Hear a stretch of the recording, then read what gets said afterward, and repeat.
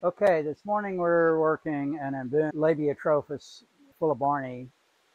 Susie's going to roll her eyes, but keep in mind that in Latin, a single I on the end of the name. Basically, what this name means is lip fish, Tropheus being a you know, genus of cichlids, and labio meaning lip, and it refers to the overbite that these fish have. Fuelleborni, Fuelleborn is the name of a person, I think the I on the end is a possessive, so it's full of Fuelleborn's Labeotropheus. And the single I on the end of the Latin word is pronounced long E. If it's I, if it's two I's, it's pronounced EI. Why? Who knows? That's what the Romans did.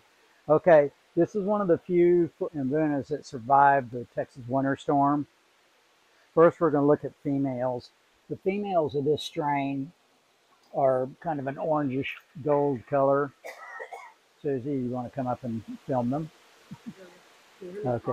Now there's there's hard water scale on this aquarium, and I, one of these days I'm going to show y'all a really neat way of getting rid of that. Uh, you can see the females have the Fuelleborni overbite, the Labeotropheus, the whole genus is like that. Uh, and this is a little bit better color I like in the females. In fact, the, I already put up the breeder females and they're a brighter orange than that little one. Now, these are not breeder females. I'm going to put these back up. Then I'm going to show you a couple of other fish that came out of the breeding colony.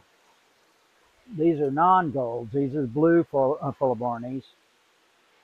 And what this means is the blue coloration is recessive to the gold coloration because all the breeders are golds.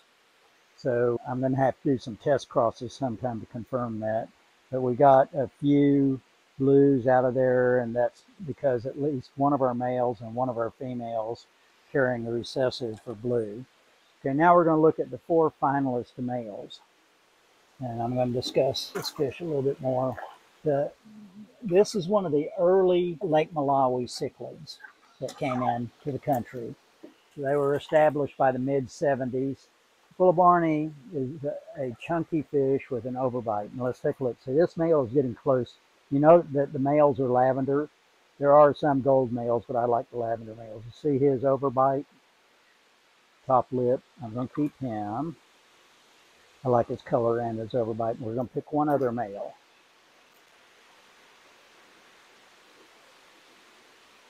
Think I'm going to go with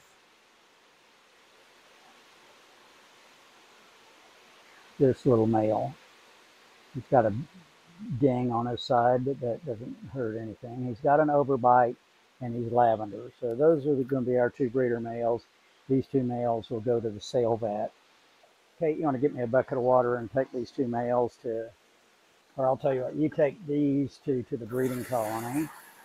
And I'll take these two males to the sale vet. Okay, anyway, like I said, this is one of the few mbunas that survived the Texas winter storm. We finally got them up to uh, full production. We had a kind of small breeding colony, three males, 20 females, and we ended up getting over 200 offspring out of this breeding cycle, which is reasonable. We had these in a 110 gallon aquarium instead of a 300, not aquarium, a vat, instead of a 300 gallon.